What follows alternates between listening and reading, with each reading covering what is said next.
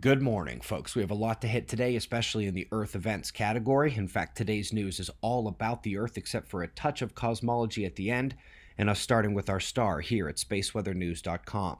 Last 24 hours on the sun were quiet. Bright central area is the tiny sunspot group.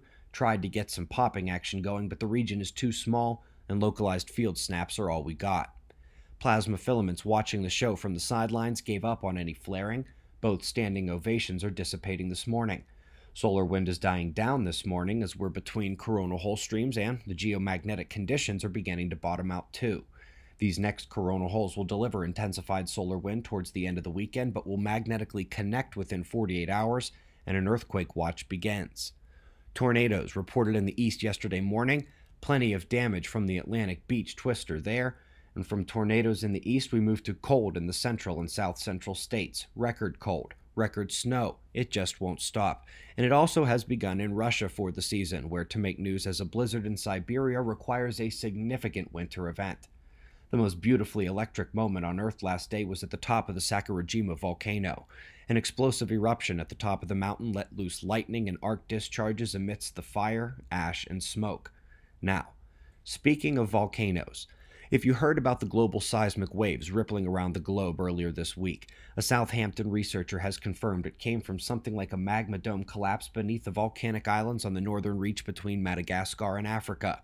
This is the region that has been hit by seismic activity this year, much more so than in most of the last decade at least, and it is difficult not to recall the Suswa Rift, that enormous crack opening in Africa where the ground is tearing apart.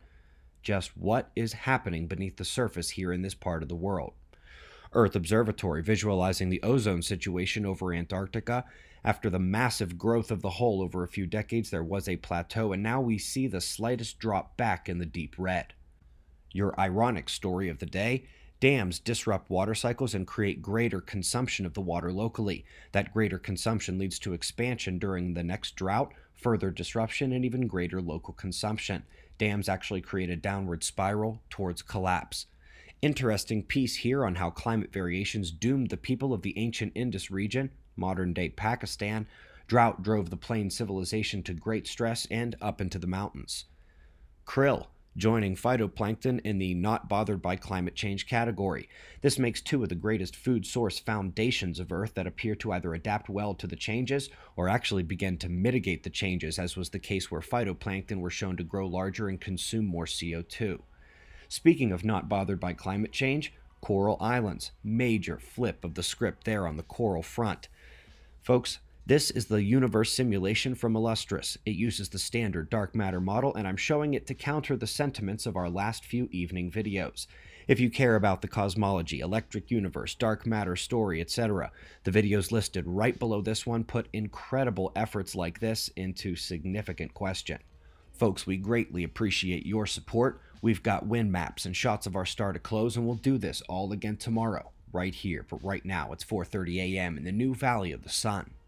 Eyes open, no fear. Be safe, everyone.